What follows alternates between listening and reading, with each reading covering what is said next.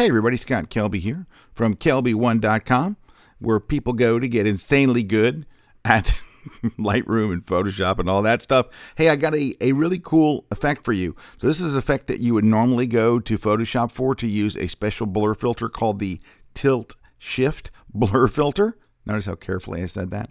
Anyway, so uh, it is a, it is a filter in Photoshop that's designed to give you the, the tilt shift effect, which is normally used today with outside of the camera, but it's used uh, to create the little tiny town, like like to take the scene you're having and make it look like a tiny model, like a small model.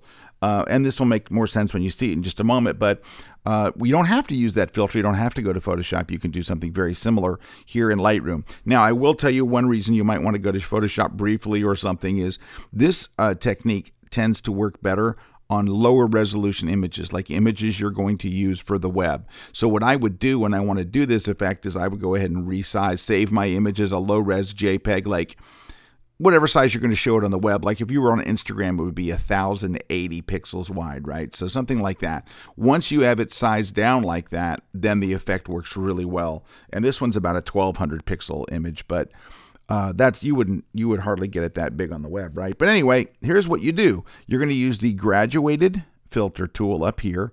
Double click on effect so all the sliders go to zero. You're going to take clarity and go to minus 100. You're going to take sharpness and go to minus 100 and this kind of creates a blur effect. Then you're going to take the tool here and we're going to drag it and you can see it gets really blurry up there and we're going to kind of drag it down to where we have this little area that's clear in the middle. And I make it a little more abrupt by dragging the bottom and moving it up like that. So this little area that transitions from very blurry to clear is um, small. Then we're going to do the same thing. We're going to make a new one and go down this direction because you just want basically a strip in the middle that's kind of clean. So let's go from this direction. Same thing, kind of short like that and it creates the oh look it's little people and little trees and gives you that tiny town effect. Now if you are using a higher resolution image and you want this amount of blur what you can do is go to one of them right click and choose duplicate and it will stack up the effect. So it's it's you don't need it on these lower resolution images but on a higher res you'll have to do that. But basically that's how you get the little tiny town effect where these look like little toy people and toy cars and toy trees and stuff.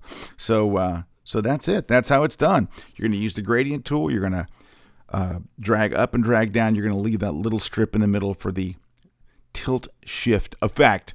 All right. Well, thanks for checking that out. Hey, um, if you're into Lightroom, I want to invite you to come and check out the Photoshop World Conference.